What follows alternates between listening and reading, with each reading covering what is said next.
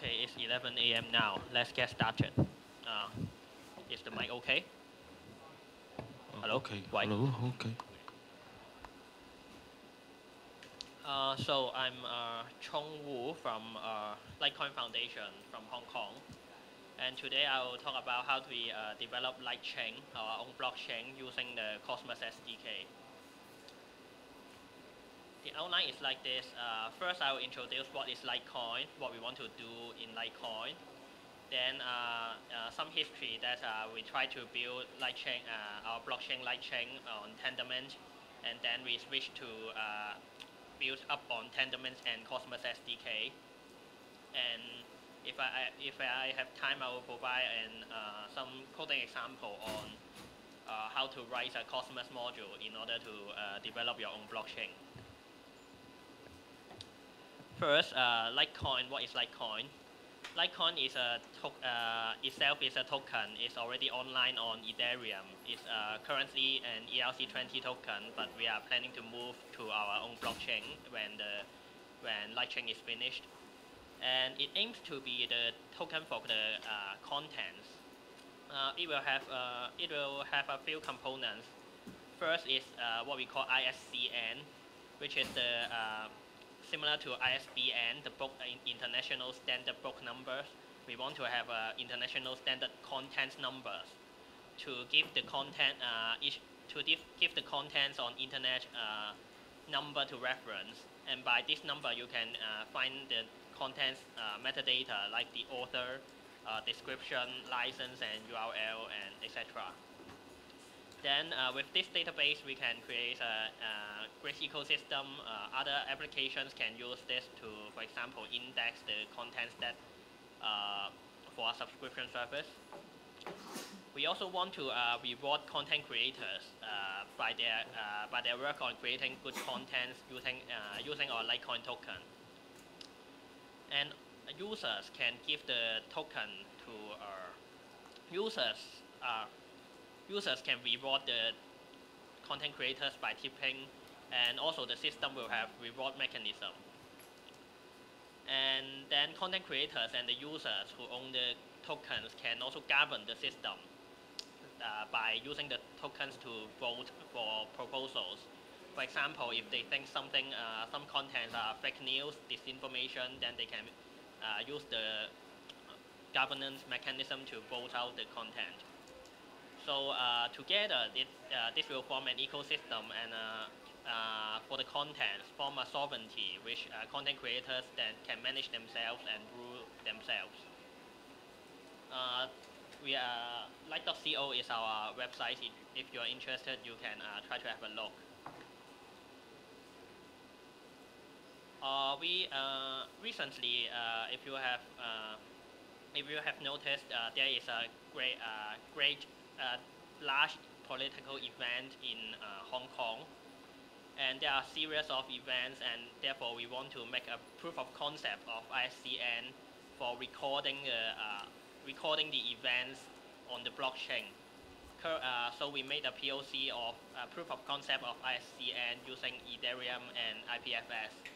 Uh, it is called the I612 project uh, which is basically the nano wall on blockchain. Anyone can, everyone can stick their contents onto the blockchain to record something related to the event. And it is uh, uh, be too small or blur?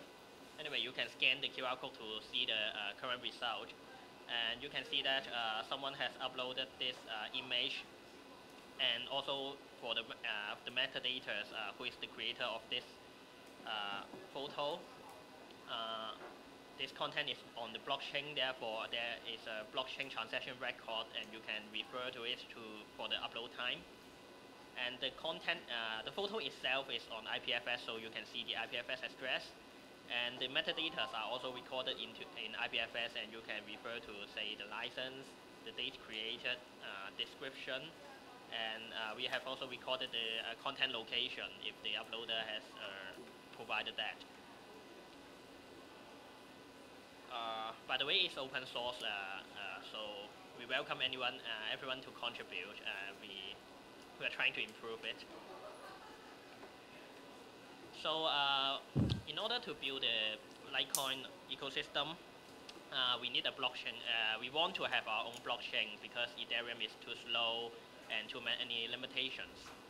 At first, we tried to build it on the uh, a blockchain engine called Tendermint. Tendermint is a blockchain engine which allows user uh, allows developers to separate blockchain consensus logics, which is provided by the engine, and the real application logic. Therefore, the uh, the developer who wants to build a blockchain for his own application can focus on the application logic instead of uh, networking, consensus, uh, proof of stake, these kind of things. So the architecture is like this. Uh, underlying there is the Tendermint engine, which provides networking and consensus layer. And it's uh, this engine communicates with the uh, application logic. Uh, we call it the ABCI proxy application. And it communicates with the ABCI application with the uh, with RPC uh, with TCP. Therefore, anyone can implement the interface that the ABCI defines to to make the application a blockchain application. Uh, it says that uh, it can be written in any language, but uh, in practice it supports uh, Go and Go and JavaScript the most. So our application is written in Go. So uh, we have uh, already written the first version of a LikeChain on Tendermint. The architecture is uh, it's like this. Uh, the Tendermint is the core engine, and there is the application uh, which implements the ABCI interface. Uh, underlying it uses some other libraries for storage. And we have also implemented some uh, together with the blockchain application so that so that it allows users who are already on Ethereum and have uh, Ethereum LikeCoins to exchange to exchange their Ethereum LikeCoin for uh, for uh, the LikeChain and also allows the LikeChain LikeCoins to send to Ethereum. So it's uh, this one is already developed uh, in about I think about April. But we found uh, some problems in this application. Uh, yeah, it's a con first it's a consortium sidechain of Ethereum. Uh, so it allows two-way exchange between Ethereum and uh, Ethereum and LikeChain but we found so, uh, some problems because uh, this version is only a very basic version. Basically, it only has the uh, function of transferring tokens. So uh, we finally, the eventually we want to be a public chain, and we want we also want to have the governance uh, governance mechanism which users can vote with their tokens. And these two features are very very crucial crucial features for our for LikeCoin, but they are also very complicated to implement. Uh, it's hard to write from scratch and hard to do it right. Therefore, we uh, in, uh, we rewrite it uh, using a using another approach. Uh, we use the Cosmos SDK to rewrite it. Uh, Cosmos is a project that aims to be the network of blockchains. Uh, uh, it provides a lot of tools for developers to develop their blockchain. Tendermint is one of them. And upon Tender, uh, besides Tendermint, it also uh provides some SDK called the Cosmos SDK, which includes some common features that uh, common features that a lot of blockchains want to have. So you, uh, developers can easily develop their own blockchain it also uh, it also defines a protocol called, called uh, inter-blockchain communication, so that uh, all the blockchains implementing this protocol can communicate with uh, communicate with each other. Therefore, the blockchain uh, you can write your own blockchain for your own application, and then connect to other blockchains or other blockchains that connect your blockchain to other blockchains called the hubs. Therefore, this call uh, this calls the this makes a network of blockchains. And the architecture will be look like this. Uh, there are some hubs which are blockchains that connect other blockchains, and there are also zones which are the block uh, application-specific blockchains. So the uh, zones can join to the join to the network by connecting to any hub, and then these all blockchains are interconnected. Uh, Cosmos will also provide some, uh, they call it the peg zone, which is a bridge to connect uh, blockchains which are outside the ecosystem. Uh, outside the ecosystem. So the Cosmos SDK is one of the com major components in the Cosmos ecosystem. It is a tool that allows you uh, developing framework for developing uh, Tendermint-based block, uh, blockchains. So it is built on top of Tendermint. It is like the uh, library uh, library concept in programming, but it's provided in the blockchain concept, uh, context. Uh, it provides a lot of uh, common modules like the authentication module called auth, the uh, token, the token module called bank, the proof of stake consensus module called staking module, and also provide governance module. So with these modules, uh, developers can now can more focus on their chain's uh, uh, unique feature instead of re-implementing token transfer, uh, the proof of stake, etc. So uh, previously, uh, this is still Tendermint, which which is for the consensus and networking. But now we have also have other modules on top of that, governance, inter-blockchain communication, etc and developers can write oh, uh, their own modules and also share their modules so that uh, the others can use these modules to build their blockchain. So the uh, Cosmos SDK architecture is like this. Uh, the upper part is Tendermint, which uh, transfers the transactions to the application. The application has uh, something called the base app, basic application, which will decode the transaction into uh, Go uh, into Go structs, which is uh, user-defined uh, messages. These messages are sent to uh, the corresponding module. When the module receive, uh, say, say the staking modules receive a staking message, it will put the message into the message handler, which is like the controller in the MVC architecture the control, uh, sorry, the handler, okay. The handler uh, then calls, uh, by its application logic, checks the error, and then it calls the staking keeper. The keeper is like the model part in the MVC architecture, uh, which is the, also the core of the uh, of each Cosmos SDK module. So these keepers can also may also refer to other keepers, other modules keepers. For example, if a staking uh, message is about to is about uh, putting 10 coins to the staking pool, then it needs to move the coins. And moving the coin is uh, is the call, uh, is the responsibility of the bank module. Therefore, the staking module needs to refer to the bank module. So the staking keeper will refer to the bank keeper to uh, by calling the bank keeper to move the coins and the keeper will connect to the uh, what they call uh, what is called the stores in the Cosmos SDK and the stores are the uh, are the storage layer which defines the whole application stage and uh, serial serialize the whole application so this is the basic architecture of a Cosmos module so uh, I will go through an example which uh, uh, which was uh, which I wrote in the hackathon event last month. But before that, I want to introduce uh, why we have the why we have that module at the first place. Currently, we have a project called Civic Liker built up on LikeCoin, which a user can subscribe for five US dollar per month. And then these five US dollar are converted to LikeCoin, and when the user click on the like buttons, which uh, we put on, uh, we let the content creators to put in their contents. When the when the user click on the like buttons, uh, their five US dollar equivalent LikeCoin will be distributed according to uh, according to how they click the likes.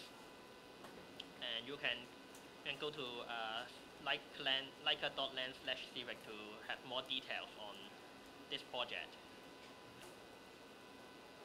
And uh, I'm, this is uh, the result of uh, or the report that user received uh, at the end of the day, uh, at the end of each day, which uh, saying that your the 5 US dollar the monthly 5 USD do US dollar today has been distributed for 0.5 US dollar and 0.25 dollar are to these, these two articles and etc etc.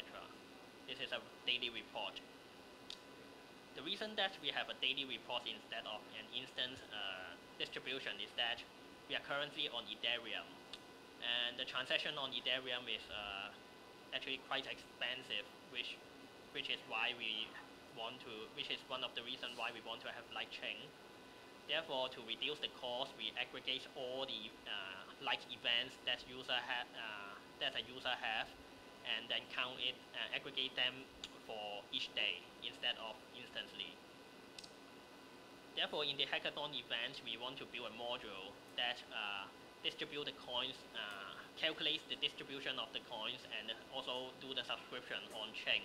Therefore, it can be done nearly instantly uh, as a proof of concept of the Civic-Liker on LikeChain. Uh, I've written two modules for that. The first is a subscription module, which will, which a user can say that I want to subscribe to channel A, and then by the web definition of channel A, it, it will automatically transfer say 10 coins to uh, 10 coins to the subscription pool per say 10 blocks. Another module is the logic of Civic-Liker, which uh, which hooks the subscription subscription module and use the subscription the coins in subscription pool and distributes them when uh, according to users like at the end of each block instead of at the end of each day so that the distribution will be nearly instant and this project uh, this hackathon uh, the code of uh, written in this hackathon is put into uh, this uh, put onto GitHub, you can refer to it in a project called the Hack Atom Seoul 2019. Okay, uh, okay, I still have uh, about 8 minutes, so I, I, will go through the code that, uh, that I've written in the hackathon.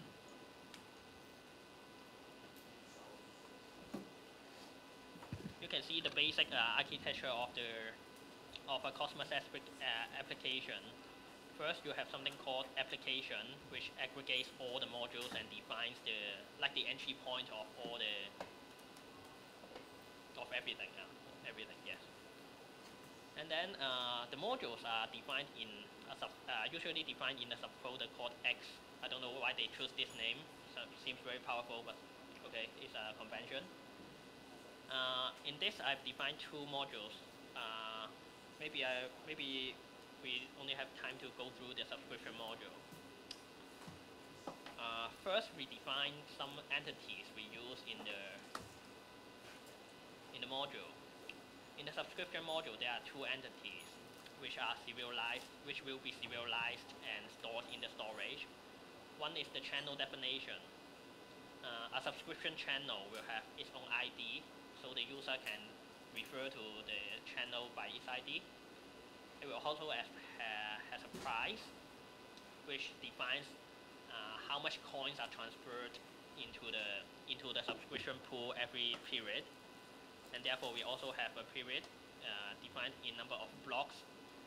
Say the uh, say the price is 10 coins and the period is 10 blocks then the user will transfer auto the blockchain will automatically transfer 10 coins to the to the subscription pool of that user per 10 blocks. Another type is a subscription, which defines a sub, uh, user subscription. The subscriber will be the user, and the channel ID will be the which channel is the user subscribing to. Remaining will be the uh, number of coins remains in that user's subscription pool for that channel. So the other modules can use these coins to uh, to do other uh, to do the things defined in those modules. And the next payment block defines uh, when when will it uh, when will it when will it transfer from user's coin to the subscription pool again. So after having these two entities, we need to have a keeper, which is, uh, if you remember that, it is the like the model in the MVC architecture, which the, uh, is about storage, storing and get uh, reading the entity stored. So the keeper will connect to the bank module's keeper so that it can transfer coins. So it is called the coin keeper. Uh, the store it has also has the store key which defines which subpart of the storage is uh, it can uh, it can access. Uh, codec is for encoding and we will skip that part, uh, temporarily skip that part. And the hook is something I defined so that uh, other modules can register a hook. Therefore, when there is a subscription or resubscription, the hooks, uh, which are functions, will be called so the, the modules could, could get notified. The keeper will have uh, something uh,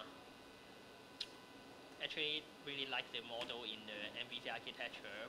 It can define basically get the getter and the setter of all the entities needed. So you can see it has set channel and get channel to set uh, to register a, a subscription channel. Also the get subscription and set subscription. These are the core parts and I've skipped other details.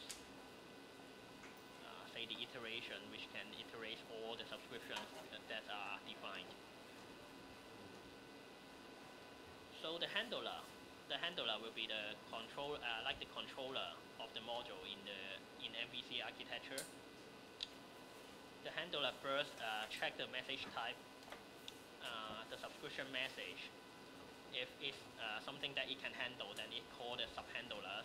They handle sub, uh, handle message subscription. Else it uh, returns error to so the transaction will fail in the handler, it uh, do normal checkings. They it first try to get the channel ID to see if there is such a channel. If no, then it return error. Then it uh, it looks for the subscription. If the user has already subscribed for this channel, then it also return error already subscribed. Then it tries to move coins to users uh, from users account to the subscription pool it first try to sub, uh, subtract coins, which calls another keeper, the bank, uh, the coin keeper, which is in the bank module. So this part is delegated to the bank module.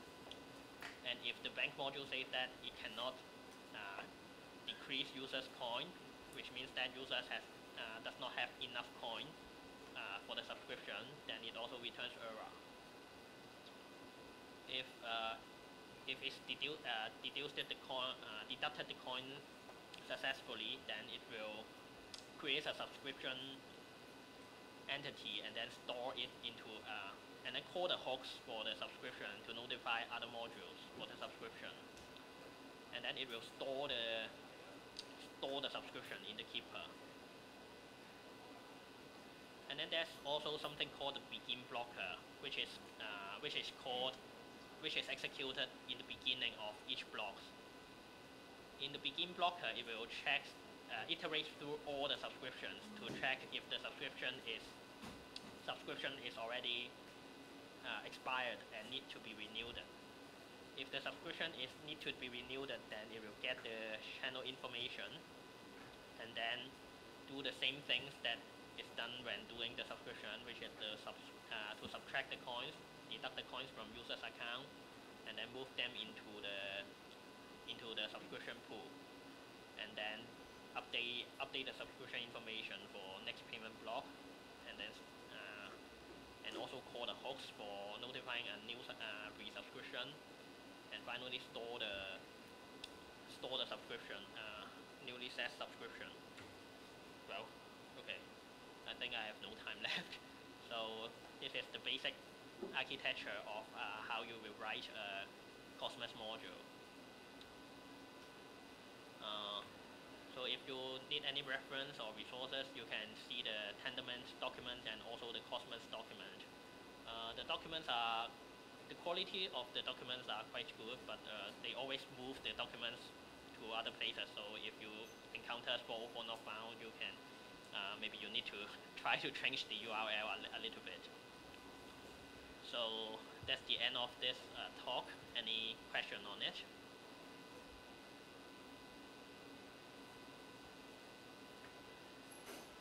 So if no question, uh, we will have, uh, uh, by the way, we will have a BOF session on how, uh, on discussion on how blockchains can help fighting fake news and disinformation, uh, which will be held in uh, tomorrow in IB 305. the time in the the time set set in the book book class is is 2 p.m. But actually, we have uh, updated that to uh, 12 p.m.